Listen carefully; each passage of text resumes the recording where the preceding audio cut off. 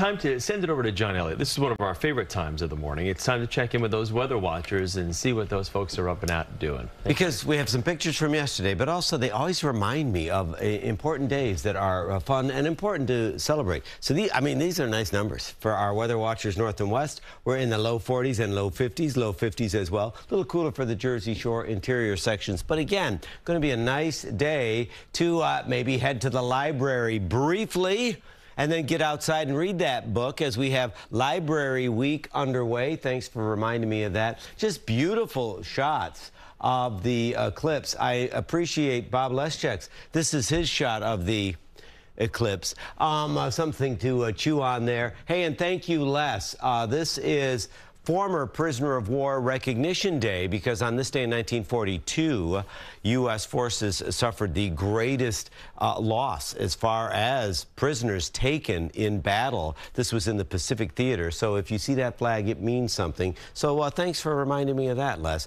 Now the other thing i want to remind you about and some of the weather watchers lamenting this wow we pollen is way up there because now grass pollen is kind of filling in.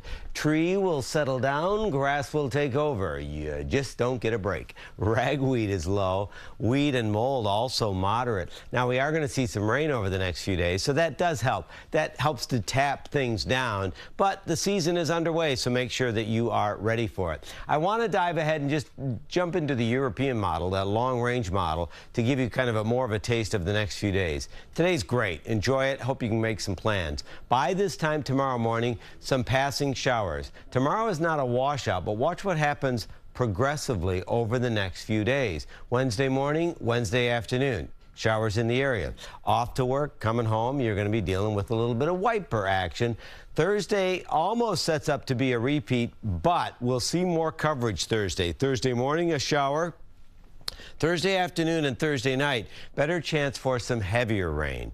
Sorry about that. And you've got to remember, we have these coastal flood advisories right through the middle part of the week, so we're mindful of that. But by the time you see Friday morning, Friday morning probably our best bet to see more uniform, moderate to heavy rain. It's not all day, but Friday morning, if that's a key time, a flight, an appointment, or something that's really time sensitive, start thinking now, how can you back time it so you factor in extra time for the trip. We see some breaks, but by Friday night, we're in better shape. Saturday morning starts to shape up.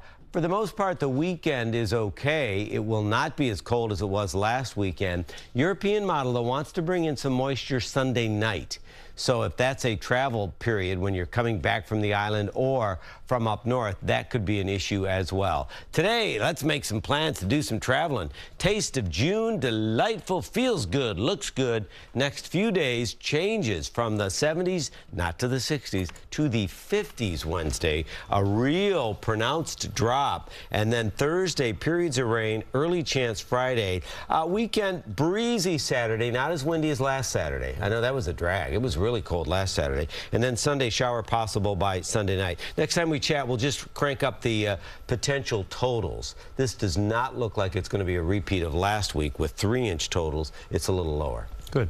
We need that. Yeah, we Thank do. You. Appreciate it.